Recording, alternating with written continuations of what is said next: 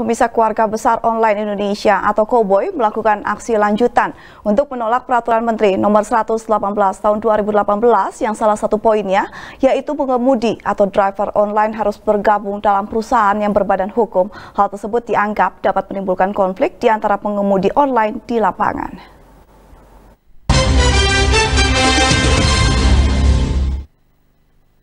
Jawa Barat, eh Bandung. Keluarga besar online Indonesia atau Koboy melakukan aksi lanjutan menolak peraturan Menteri nomor 118 tahun 2018 yang salah satu poinnya tentang driver atau pengemudi online harus tergabung dalam perusahaan yang berbadan hukum. Mereka juga meminta kepada Dinas Perhubungan Provinsi Jawa Barat agar aturan turunannya tidak dilakukan penegakan terlebih dahulu karena dikhawatirkan akan menimbulkan konflik pengemudi online di lapangan. Perwakilan keluarga besar online Indonesia pun diterima oleh anggota DPR Provinsi Jawa Barat Hasbullah Rahmat dan Asep Wahyu Wijaya di gedung DPRD Jawa Barat. Anggota DPRD Provinsi Jawa Barat Hasbullah Rahmat mengatakan ada potensi konflik antara driver yang tergabung dalam badan hukum dengan driver individu akibat dari regulasi yang ada. Hasbullah pun menekankan sudah menjadi kewajiban anggota dewan untuk menjamin masyarakat profesi online agar tidak terjadi konflik di antara mereka.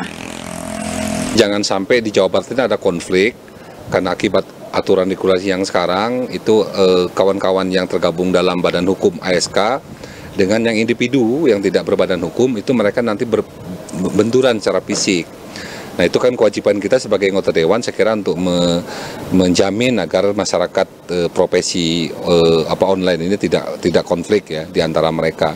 Hasbullah juga berharap pimpinan sementara DPRD Provinsi Jawa Barat bisa memanggil Dinas Perhubungan Provinsi Jawa Barat dan perwakilan pengemudi online agar bisa duduk bersama untuk mengantisipasi dampak konflik yang bisa muncul.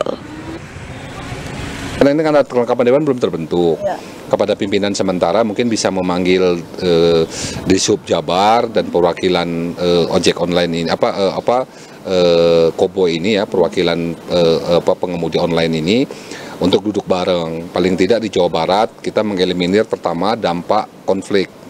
Humas DPRD Provinsi Jawa Barat melaporkan. Dan sebagainya